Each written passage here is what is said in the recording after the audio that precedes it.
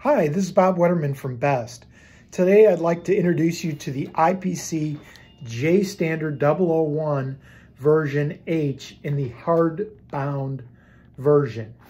You'll notice that there are a lot of drawings and sketches and different photographs for illustration purposes, but this standard tells you how a circuit board should be built. So it's the definitive assembly standard for printed circuit board uh, standards. And it is in version H that was printed in 2020. So this has been Bob Wettermann from BEST talking today about the IPC J Standard 001 version H.